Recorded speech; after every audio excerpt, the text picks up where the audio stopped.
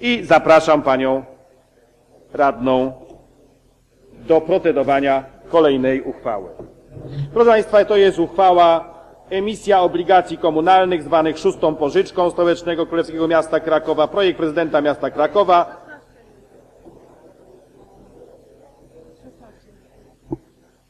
Przepraszam.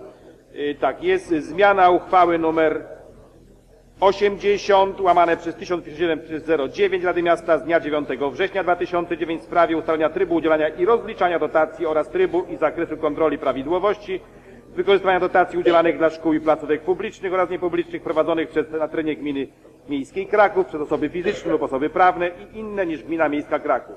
Prezydenta projekt miasta Krakowa, druk nr 1216, referuje pani dyrektor Korfel Jasińska. Bardzo proszę.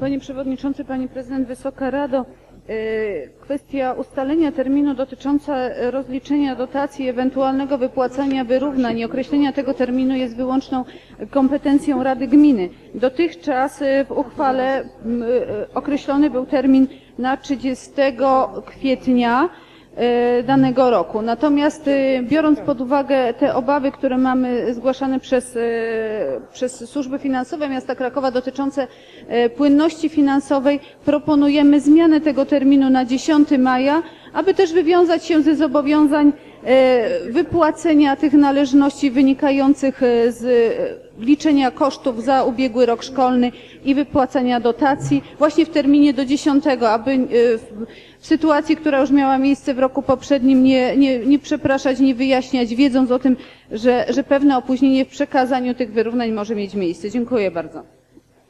Szanowni Państwo, ale tu jest poprawka, tak? Bo ja momencik tu wchodzę. W trybie statutowym nie zgłoszono poprawek. Poprawkę zgłosił Pan y, Dominik Jaśkowiec? Do druku 1216? Przepraszam, jest 1216, to jest napisane, że jest poprawka radnego Jaśkowca. Tak? Ja. A co to znaczy? Przepraszam, czy pan radny zgłosił, czy nie zgłosił, bo tutaj mam napisane, że pan radny zgłosił. Nie ma?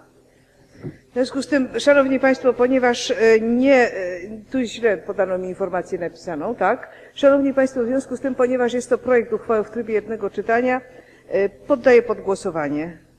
Druk 1216. Uprzejmie proszę przygotować się do głosowania. Bardzo proszę, głosujemy. Czy państwo głos za, przeciw, wstrzymujący się? Szanowni Państwo, jesteśmy w trakcie głosowań jednoczytaniowych. Bardzo proszę o powrót na salę, bo może być znów kolejny niespodzianka dla nas wszystkich. Dziękuję bardzo. Czy wszyscy Państwo wzięliście udział w głosowaniu? Dziękuję. Uprzejmie proszę o wynik głosowania. Głosów za 24, głosów ze, przeciw 0, wstrzymujących się 0. Stwierdzam podjęcie uchwały według druku 1216.